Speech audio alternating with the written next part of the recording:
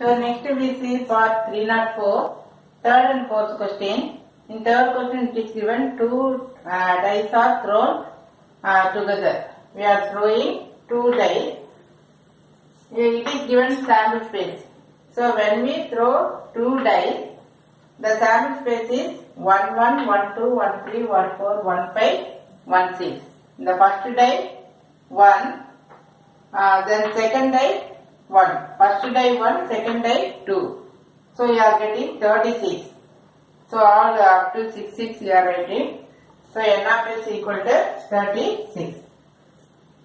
Now we are finding event of getting two digit numbers which are divisible by 3. So in the sample space you are selecting the numbers turned up which are divisible by 3. 3 are divisible ஆகிற numbers you are selecting. So if you see the first row, you can write 1, 2. இந்த 1, 2 வந்து it is divisible by uh, 3 but you should not write it 1, comma 2 அப்படின்னு எழுதக்கூடாது. You just 12. So when you write, uh, when you select 1, comma 2, you should write it as 12. So when it, when it turned up, the together it forms 12. So in the first row one more number. 1 comma 5 means 50 then second row 21 then 24 that's all. Then third row 33 then 36 then fourth row 42. These are all divisible by 3. 42, then 45. Then fifth row, uh, 50, 51. Yeah, 51. It is divisible by 3. One time balance to 21 seven times. Then 51, then 50, uh, 2, no, 53, 54 will come. Because 54, if you take 3 table one time, balance to 24, so 8 3s are 24. Then the last row, uh, 63, then 66. So after this it is over. Now count it 1, 2, 3, 4, 5, 6, 7, 8, 9, 10, 11, 12. So n of a equal to 12.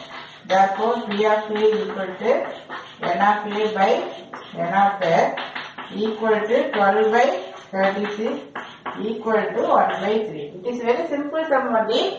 It will come under 2 mark question.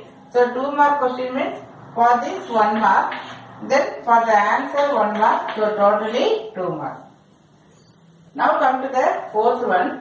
We are given number of good eggs equal to 12. Number of bad eggs, that means rotten eggs, equal to 3. Therefore, total number of eggs equal to 15. So, in a bag, we have number of good eggs, then the number of rotten eggs, that means bad eggs. So, totally we have 15 eggs. So, we are going to find probability of getting a rotten egg. We are selecting a rotten egg. So what is the probability for that? So P of A equal to N of A by N of S. A is the event of selecting a rotten egg. So how many eggs we have? 3. So 3 by total is 15. This 15 you should write, not this 12. So this good number of good eggs, number of rotten eggs you are adding. So the total number of eggs equal to 15. So if we cancel it, we get it 1 by 5. So this also will come under uh, 2 mark question. For this, this answer 1 mark. Here 1 mark. So totally 2 marks for this. Thank you.